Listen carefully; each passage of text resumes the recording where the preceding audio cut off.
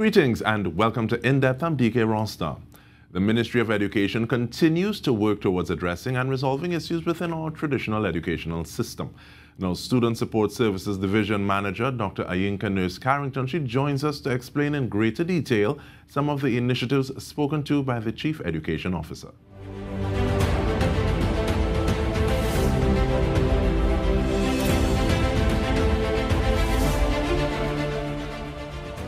Welcome once more, Dr. Carrington. It's been a while that we've spoken, but I want to start off again from the ground up, please, in terms of the role of the SSSD units. Thank you. Hi, Dike. Student Support Services Division provide that ongoing support for our students to maximize their learning potential.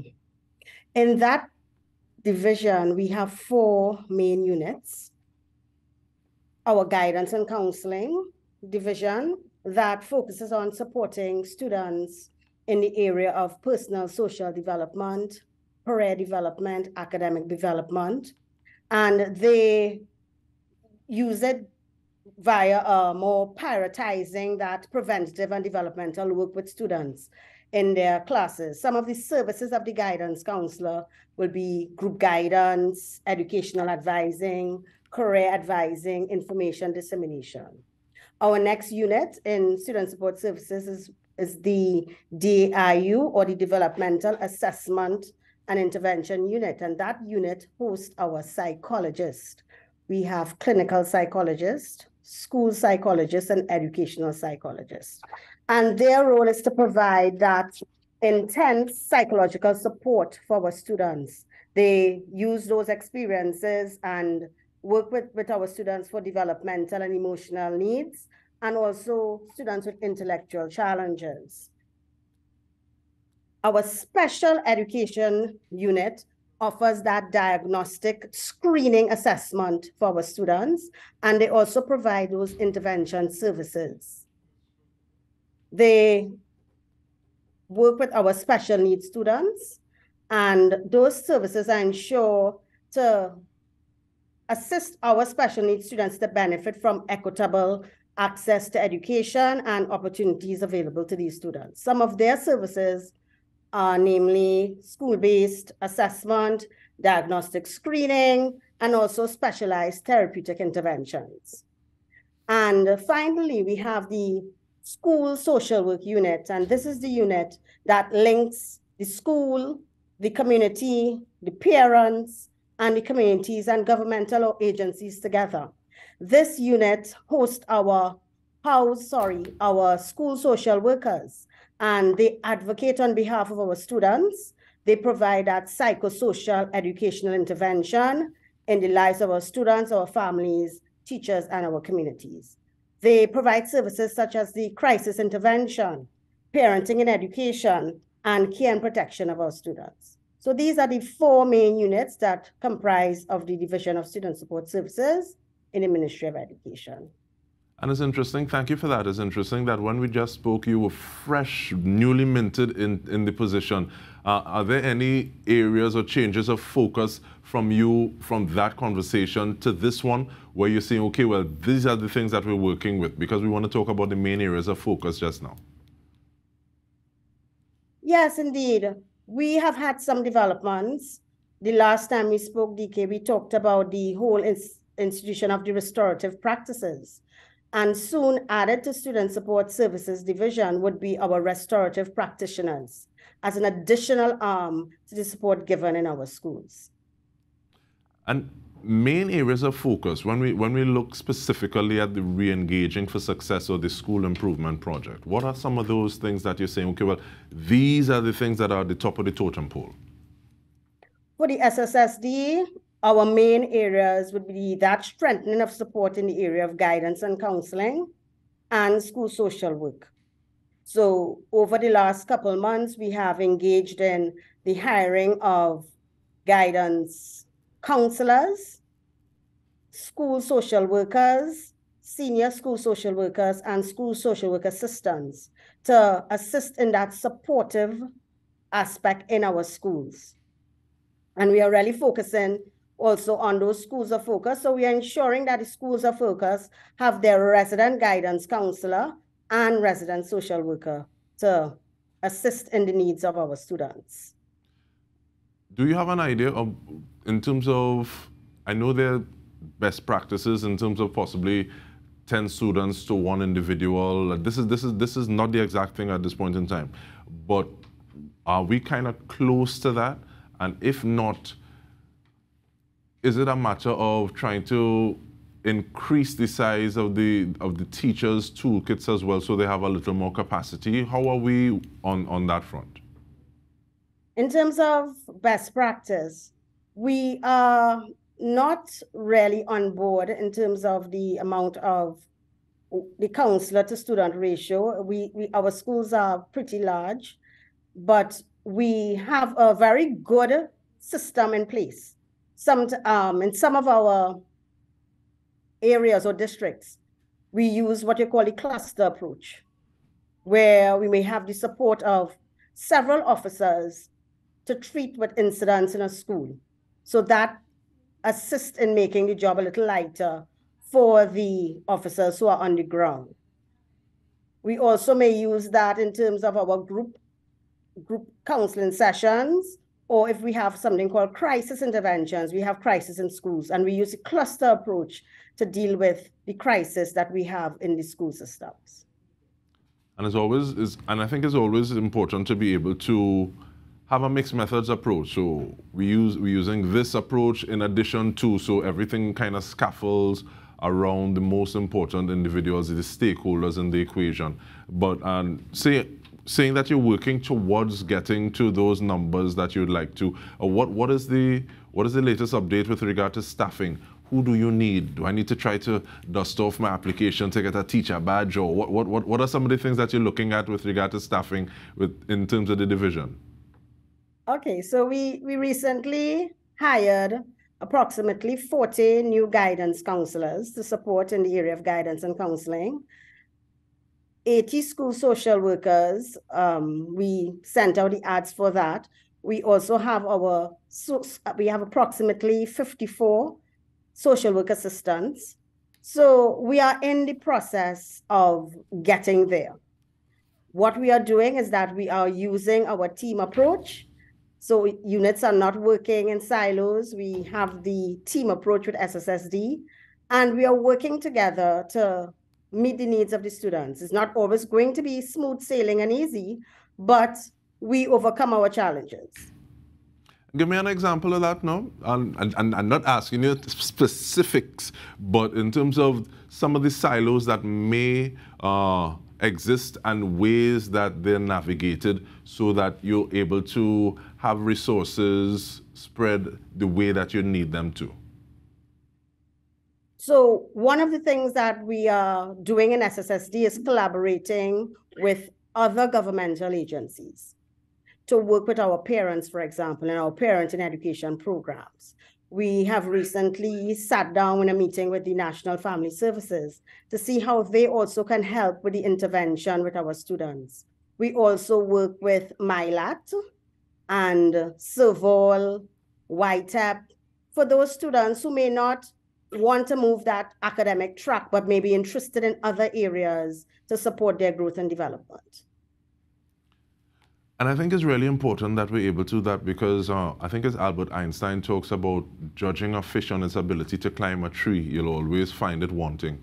So being able to have different sorts of approaches to that better suit an individual, I think is really important at this point in time. So, and the, that focus on partnership and partnering, I think is something that is uh, really uh, to be lauded. But we take a short break, and when we come back, I want to ask about focus on individuals who may have special needs while they're in the traditional uh, education system, how it is you deal with that, and uh, other other uh, issues around the SSSD. So stay with us. We are speaking with manager Dr. Ayinka Nurse Carrington, manager for the Student Support Services Division. We return with more.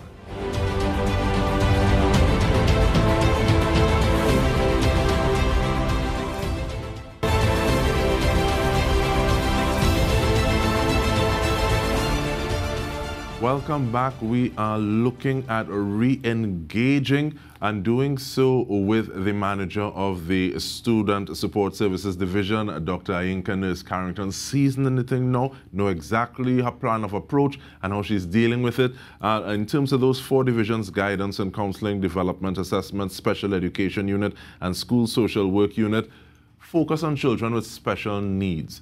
And I'm wondering what, how do you even define that at this point in time, looking at the fact that individuals may have been affected in different ways coming through the pandemic, Dr. Nurse Carrington?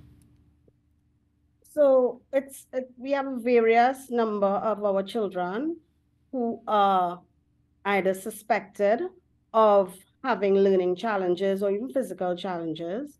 We have um, our diagnostic specialists and our entire special ed team dedicated to these particular types of students. Our special needs students receive different types of interventions based on their diagnosis. So we may have suspected students, and with our suspected students, we use something called the Alternative Intervention Strategy or AIS plan for them. But our diagnosed students, we use what we have to call the Individual Educational Plan to help support these students in our system. So even if that student is suspected of having a special need, we still support the students with strategies, parent consultations, and we try to assist in every way we can from in this division.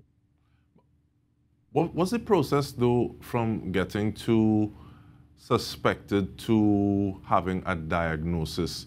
Is it a matter of referrals? Is it a matter of uh, the parents saying, okay, well, we, we, we think or we need or it is not working out for us, can you help? How Take us along that journey, moving from, okay, well, we suspect that possibly in terms of, even like you look at something specific like autism, that our child is on the spectrum, how does that mm. child move from being suspected to saying, okay, well, there's a diagnosis that we can work with because we now know that this is here and we have those parameters to work with? Okay, good question, Dike. In terms of that process, it, every child that comes through SSSD starts with a referral. Whether it's a referral from the school or the parent, it starts with a referral. And from that referral, we move through a process. So teachers may have observed something, or the parents may have observed the, the problem. And if the problem persists, it may go to something called our SBIT team or school-based intervention team to have a look at some of the observations from the teacher or even discuss with the parents some of the observations that was brought to their attention. From that, after those students are looked at from that level, what happens now is that that particular case is now transferred or, as we say, referred to another level of our MDT, which is the multidisciplinary team, which comprises of all the persons from the units that we just discussed. And on that team, of course, specifically, we have our special education officers and our psychologists who will provide that deep look into the observations made by persons. And once these observations are found, what happens is that the process now comes down to whether we have to produce a psychological evaluation on the child in terms of a psycho ed, or we may even get medical referrals from doctors stating the condition of the child so that will help us to support the child in the process. So everything starts at the referral, either from the school or from the parent. And I really like the fact that you said that there's the opportunity for all those uh, specializations, for want of a better term, to treat with that individual under one roof, that is the SSSD, because there may be something that one person misses that another one gets, so that multidisciplinary team, I see the value of it. And I think it's something that really should be lauded, like I said before. But uh, is it a matter sometimes of a case by case basis or have there been best, practices seeing okay well this person they have special needs they can function in this quote unquote normal school environment uh, and Is that part of the conversation as well? Each case is unique and is, and, and is assessed as such. So we tend not to group children, but we tend to look at each case individually, giving it our full attention. But having children in school is one thing, but children go home to parents and guardians. What kind of support does the SSD offer? Is there any programming for parents or caregivers as well as the students, and sometimes possibly even both of them at the same time? Well, we have our parent consultation and our special education officers would have those consultations with the parents to advise them, to guide them, and even to support them. We also have our parenting and education program from our social work division, and our school social workers also make home visits. So they are there to get that intimate one-on-one session with parents and families. And at that level also, they would provide the necessary support. So parents can reach out to us. We are always willing to work with the parents. Once we are able to give them the necessary support, we are there to, to ensure that is given. How do parents reach out? Is it a matter of going through the schools? Do they contact you directly? What what is that? What is that like? They can go through the school. So once a child is in school, they are free to let the class teacher know, and then the process of the referral begins there. And is or there even any... if you just want to speak to an SSSD officer, we in, in some of the schools we have our SSSD officers in place. We have the guidance officers, we have the school social workers, we have even some special ed officers in the schools. So they can reach out to the SSSD officer in the school and they can share their concerns and then the right officer will take over the case as need be. Can a parent do that for another parent? I, and I'm, I'm just seeing, I don't like how they treat with that child, you know. Or when it comes to homework or when it comes to something from school. Can, so can that referral take place like that as you, well? You can, not a referral, but the parent can have a conversation to raise concerns. Definitely that something. parent can speak with the principal or the the teachers, or even the officer on, on hand and raise a concern. But of course, we cannot go on the notions of that parent. It will have to be properly investigated and in the, in the right measures. But yes, parents can raise concerns, yeah. I'm glad because many things, be, be, even before they get documented properly, I think sometimes they happen on an experiential level, anecdotal level. So in terms of getting information from different places, because three people might buy the same thing from a, from a store, but for different reasons. So in terms of looking at what it is the division can treat with at that point in time, I think is very important. But Dr. Nurse Carrington, we want to thank you very much for your time, and I'm hoping that we able to have another one in, in short order. SSSD Manager Dr. Ayinka Nurse Carrington on In Depth with me, Dike Rostant. On behalf of the entire TTT News team, thank you so much for joining us.